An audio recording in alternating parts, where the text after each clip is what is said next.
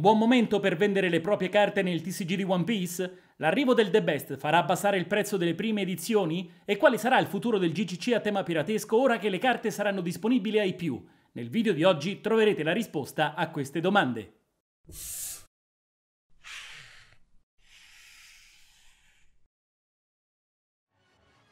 Signori, bentornati sul canale con il nostro consueto appuntamento settimanale. Vendo le mie carte perché stanno salendo di prezzo. Questa è una frase che mi viene detta spesso nei messaggi privati di Instagram ed ogni volta resto a pensare sul da farsi. Scoraggio chi mi ha rivolto questa affermazione o incoraggio alla vendita? Alla fine la risposta è sempre la stessa, ma la scopriremo fra poco. In più ci si è messo in mezzo anche il The Best, che di certo non ha fatto bene al mercato. Ne sanno qualcosa le manga, ad esempio, che dopo l'annuncio del reprint hanno visto un calo fisico fisionomico dei prezzi, dovuto per lo più alla paura e alle notizie fuorvianti, piuttosto che ad un'analisi accurata che induca a pensare su alcuni aspetti fondamentali da tenere bene a mente. Sia chiaro, con questo contenuto non voglio attaccare nessuno e se qualcuno si sentirà colpito mi dispiace, ma non è mia intenzione. Semplicemente darò la mia visione su quello che accadrà nell'avvenire e come attraverso dei semplici ricorsi storici si potrà imparare dal passato per prevedere in qualche modo il futuro. Vuoi dare il via alla tua avventura come collezionista nello sconfinato universo dei TCG ma non sai da dove iniziare?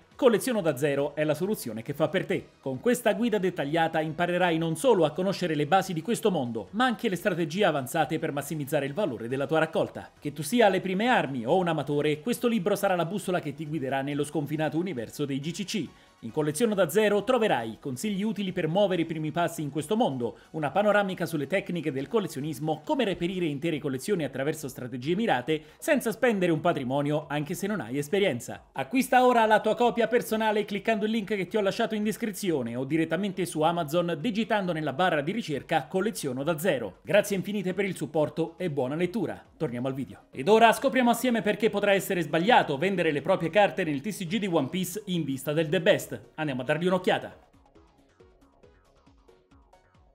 Vendo o no?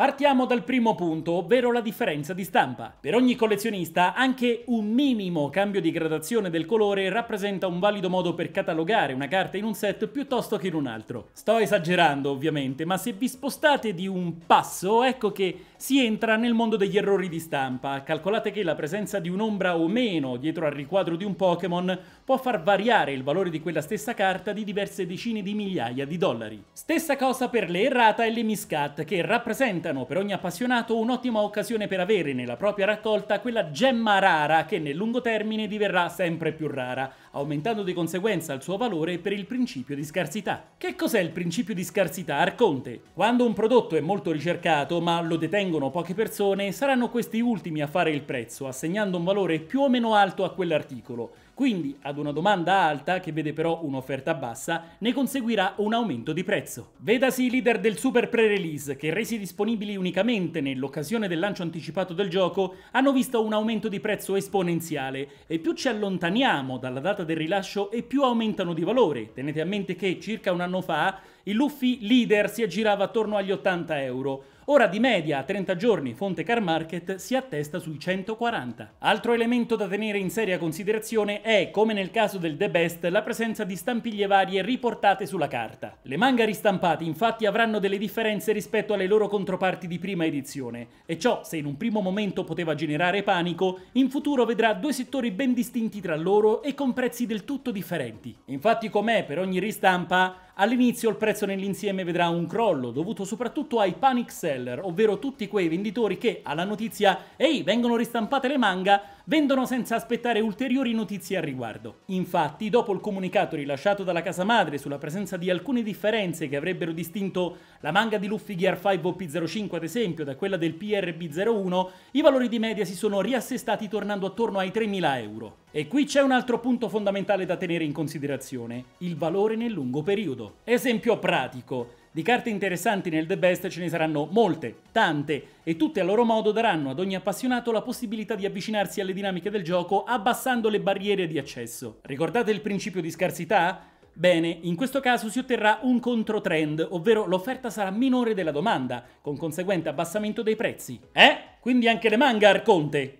No, per loro il gioco seguirà altre regole, perché esse rappresentano l'unicità, quella carta che quando la trovi urli e scalpiti, te ne esci con i sim e festeggi, sapendo che tra le mani hai un valore che supera nella maggior parte delle volte centinaia di euro. E quindi a differenza di un Mihawk costo 9 di OP01 che una volta che lo hai trovato dici ah ok ottimo, o un borsalino blocker che ritrovandotelo tra le mani alzi il pugno in cielo in segno di giubilo, per un God Pack sfido chiunque a restare impassibile. È il valore insito che cambia e questo porterà a dare un ulteriore valore insito anche alle manga di OP01, 2, 3, eccetera e quelle presenti nel The Best. Stessa carta, salto dalla sedia una volta che la sbusto, ma in fase di rivendita il valore sarà differente. Farà ridere lo stesso il ricavato, sia chiaro, ma sarà inevitabilmente diverso perché conoscendo i collezionisti, la prima domanda che faranno una volta che la ristampa arriverà anche qui in Occidente sarà alla stampiglia o è di prima? E quindi signori, la risposta alla domanda principale, ovvero se vendere o no una volta visto un aumento di valore, è